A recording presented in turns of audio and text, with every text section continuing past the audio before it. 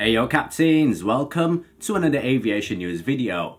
Now we know that Airbus revealed their new aircraft yesterday and they haven't, well technically it's not really a new aircraft, it's just a Bombardier CS300 with the Airbus livery.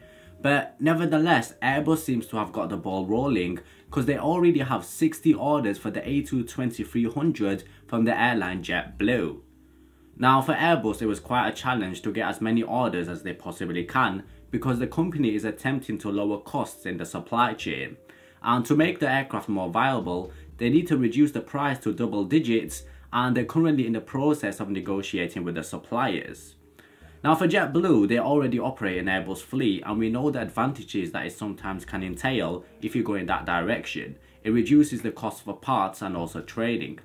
Now when all of the 60 planes are delivered to the airline, it will reduce the airline's annual cost for each seat mile flown by 5% and increase the profit of up to 3%. So those are some healthy numbers for a regional plane like that.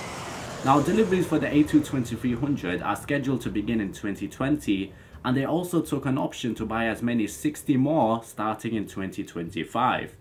The airline said that they haven't decided on how many seats they will put on the A220-300 which can hold as many as 160 passengers. It also has the right to convert some of the orders to the smaller A220-100 plane, which can take as many as 135 seats.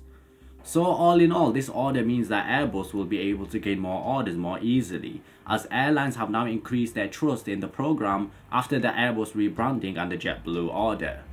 Now captains, what are your thoughts on the order and the plane? I know that some of you don't like the idea of Airbus hijacking the company and applying their livery, but how do you think this order will serve the airline JetBlue? Let me know what you think in the comments below.